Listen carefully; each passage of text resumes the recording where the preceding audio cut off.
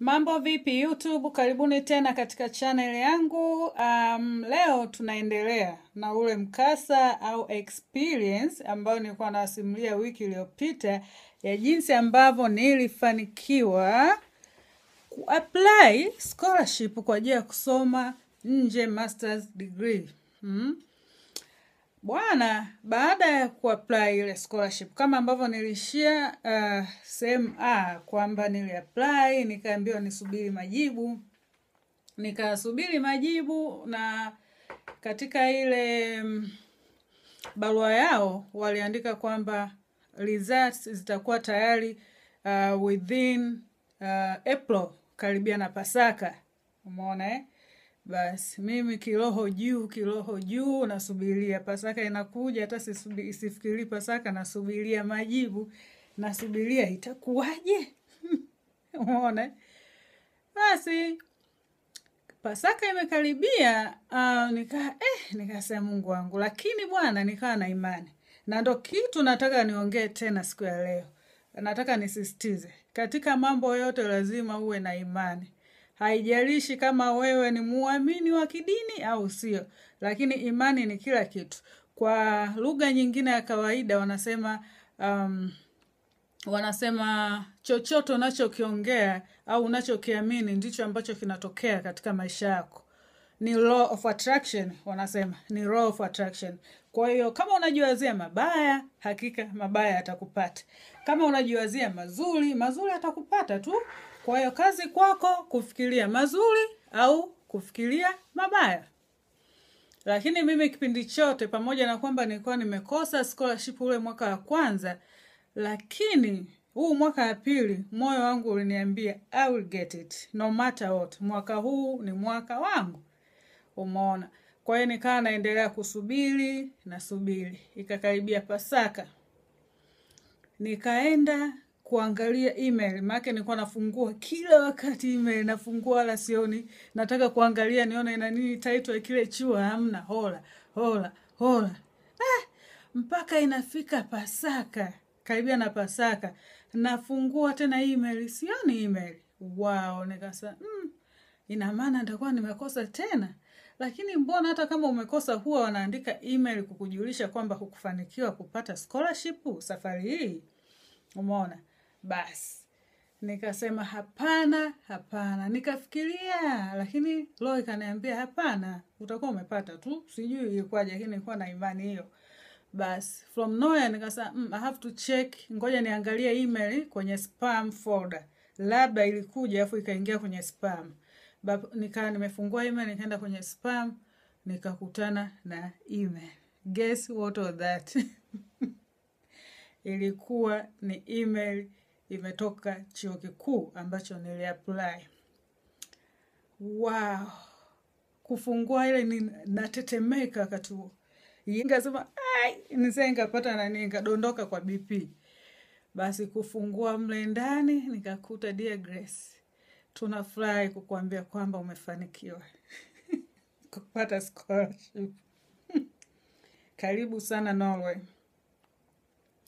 na maneno mengi sana. Scholarship ilikuwa nzuri sana, yani ilikuwa nzuri. Wakaniwekea dokumenti mbalimbali kwamba scholarship hii itakava eh, utakavyokuwa huku kwa miaka yako miwili. Scholarship hii itakava kwa ajili ya kwenda field, utakava hela nzuri tu ilikuwa hii scholarship yako itakava pia nauli ya ndege ya kuja na kurudi wakati wa likizo. Wow, hey, makubwa hela anazozitaja sijawahi kuzishika katika maisha yangu, lakini wakasema kwa sababu we need you to come here first and then ili uje usaini uh, invoice zako za hela. Kwa hiyo tunakuomba sana uh, kata tiketi ya kuja. Ukifika huku utarudishiwa nauli yako. Cha msingi uje tu na tiketi yako na kopi ya tiketi, tutakurudishia hela yako. Kwa hiyo bwana, ukaanza kwanza, nilifurahi sana sikuamini. Nikaanza kupiga simu kila kwa nimepata scholarship, nimepata. Siamini, wow, naenda Ulaya. Wow, this was my dream. Yaani kuanzia niko high school, mimi mawazo yangu ilikuwa nikimaliza kwanza nilikuwa napendaga niende nani Ulaya tangia niko nilivyomaliza form 6 tu, lakini nilikuwa sijui how jinsi gani unaweza ukaapply kwenda uh, kupata scholarship, na hata hivyo nikafikiria kwamba sio rahisi sana kupata scholarship kabla hujafanya degree maybe vyo vingi. Kwa hiyo nikawa nimefurahi sana sana and sana, nikapiga simu huku na kule za kujulisha ndugu majamaa na marafiki. Basi ikaanza michakato. Uh, passport nilikuwa nayo tayari kwa sababu ile mara kwanza nilivyo apply nilikuwa nimejiandaa sana, lakini ndio hivyo. Kwa hiyo passport ilikuwepo tayari. Kwa hiyo ukaja mchakato wa ukaja mchakato sasa wa kutafuta viza. Visa ni rahisi kwa sababu walitutumia barua. Basi kipindi hicho nilipata mimi na rafiki yangu mwingine kutoka hapo kazini kwetu, kwa sababu tuliapply wote. Kwa hiyo ikawa ni rahisi, tunikaa na company wakati wote, tunaenda kutafuta visa ubalozini, tunaenda kufanya nini. Kwa hiyo ikawa ni rahisi sana.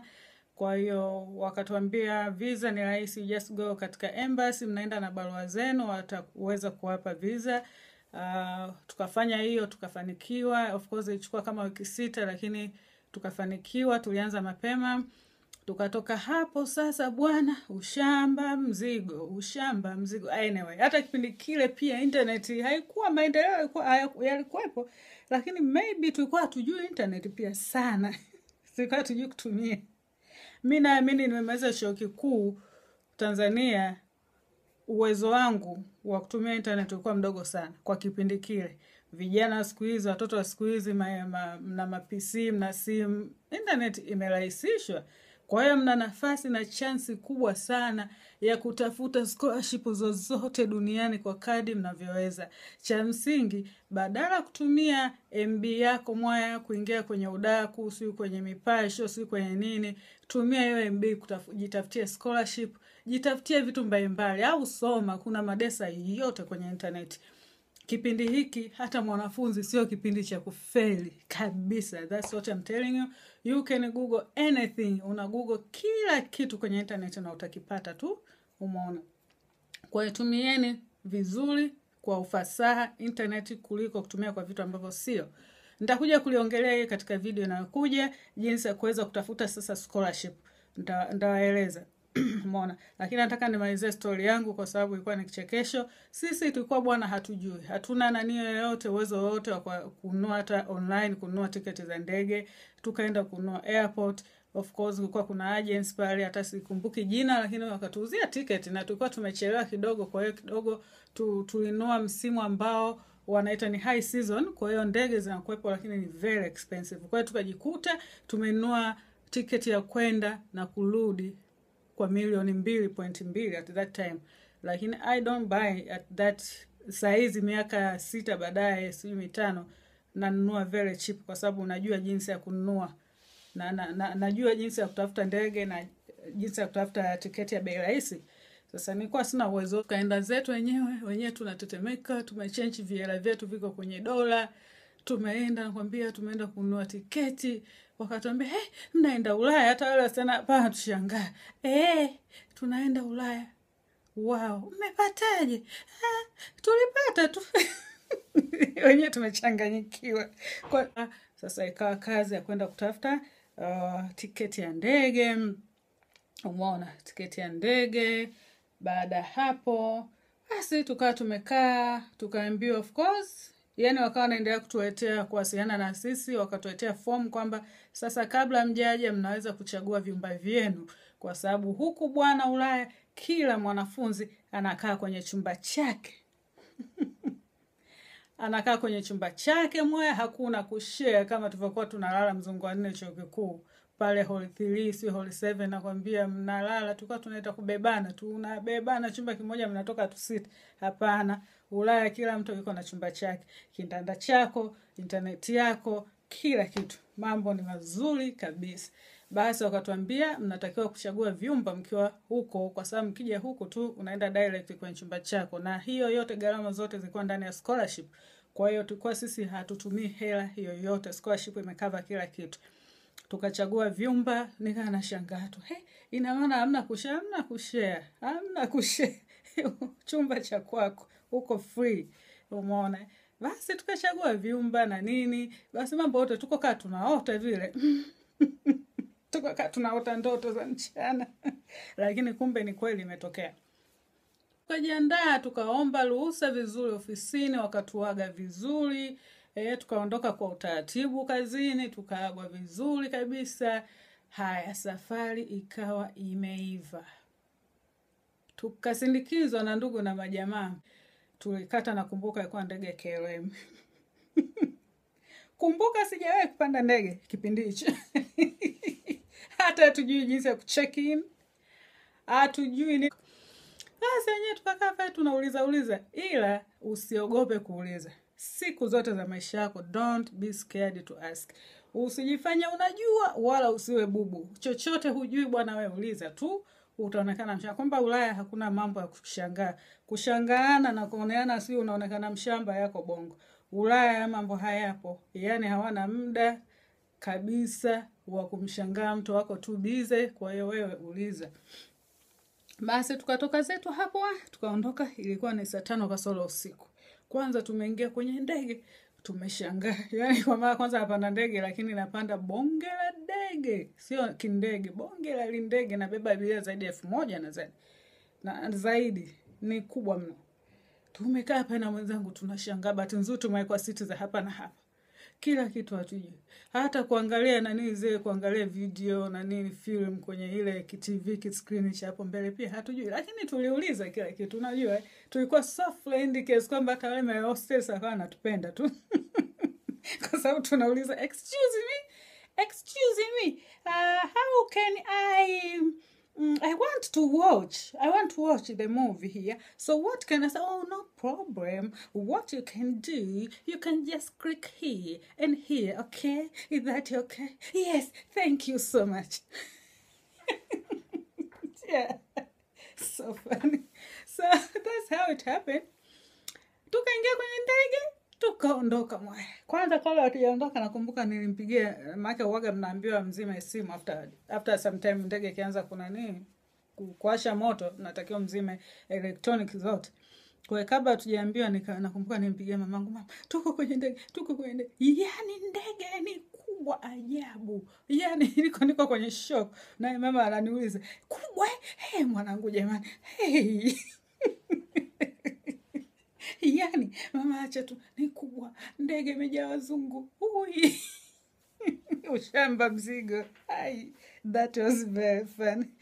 Basi, lakini it was really good, you know. Tukasafiri hapa tukatua Amsterdam, kimbembe kubadilisha ndege Amsterdam, lakini tukauliza, kama nilivyosema, usiache kuuliza. Tukauliza, maana ukiwa na tiketi tayari wanakuonyesha kila kitu. Tukauliza, tuka tukafanikiwa kufika kwenye geti letu, tukaingia kwenye ndege ndege ndogo, tukaelekea Oslo, tukatua Oslo. Oslo bwana, kutua hatuelewi, maana kwenye zile barua zetu za shule tumezishikilia hapa, wakasema mkifika airport Oslo hakuna anayekuja kupokea mambo ya zungu.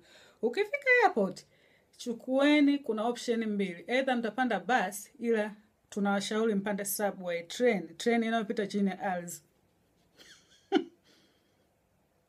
na ilikuwa sio hiyo, walituambia mnapanda nani, treni ya, ya haraka kutoka airport mpaka Oslo Center, yani mjini. Kutoka mjini mtachukua subway. Subway ni zile treni za kwenda chini ya ardhi mpaka mtatokea kwenye student housing. Hmm. Hmm. Tumefika Oslo nani bwana, hapo Oslo airport. He.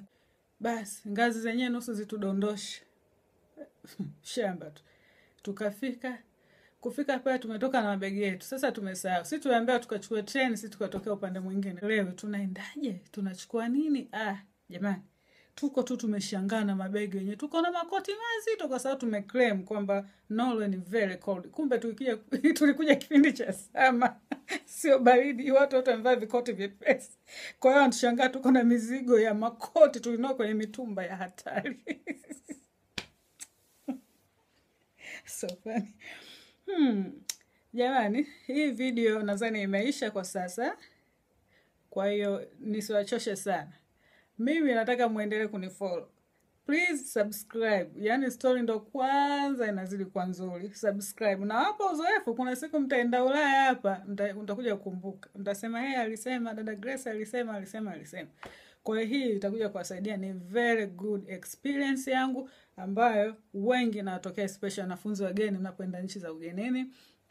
Naomba subscribe kwa sababu unatoa video nyingi kwa kadri iwezekanavyo eh. Kwa kwa wiki natoa kama video tatu. Please subscribe ili zisikupite. Share na wenzio, usiwe mchoyo. Pia like. Thank you so much. Siku nyingine tena within this week nitatoa tena video kama mbili. Asante sana na muwe na siku njema.